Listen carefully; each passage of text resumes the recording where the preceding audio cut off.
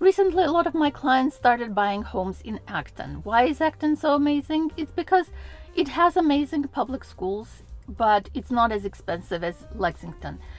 For example, you can buy a three bedroom, two bathroom house in a very decent condition under 800, 900,000, but you can't do that in Lexington.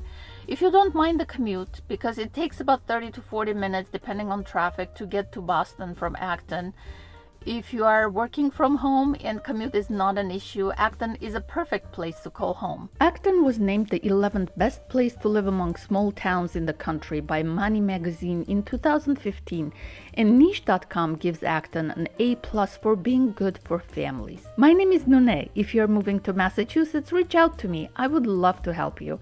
And stay until the end because I will be talking about home prices in Acton. With a population of about 25,000, Acton is a rural suburb of Boston, about 21 miles away. Without traffic, it's only 30 minutes to get to Acton from Boston. The neighboring towns are Westford, Littleton, Concord, Carlisle, Stow, Maynard, Sudbury, and Boxborough. The good thing about Acton is it is on the MBTA commuter rail line. There is a stop at South Acton Station. You can get to Boston as well as Waltham, Belmont, and Cambridge on that line. Of course, there are also buses, but most of the population likes to drive. The Acton Boxborough Regional High School was named a Blue Ribbon School by the U.S. Department of Education in 2009 and is consistently on the top 20 list.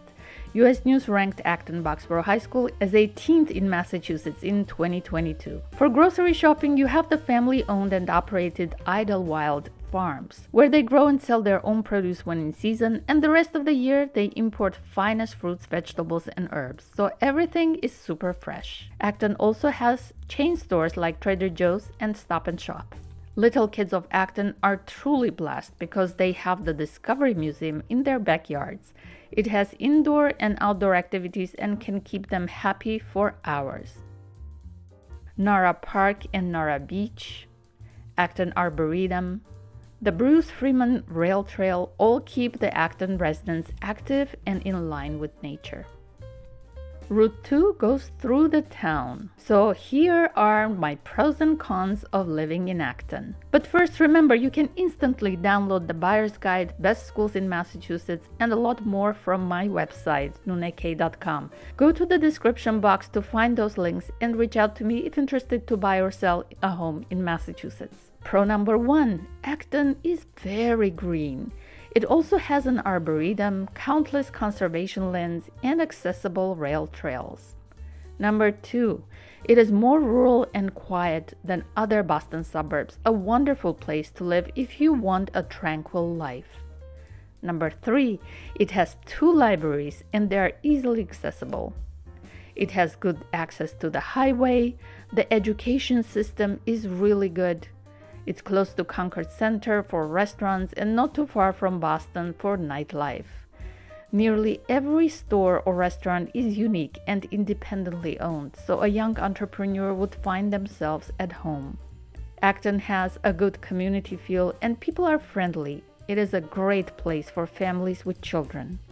And these are the cons. Property taxes are on the higher side. 2023 tax rate is $17.56 per thousand. If you like lively and urban settings, this is not the place for you.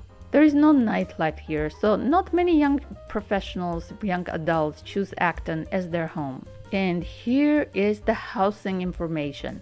Many houses in Acton have a private sewer, which is nothing to be scared of. About 30% of all homes in Massachusetts depend on privately owned septic systems. Um, hopefully I will make a video in the future sometime explaining what private water and private sewer are and how they work and it's not as scary as you think.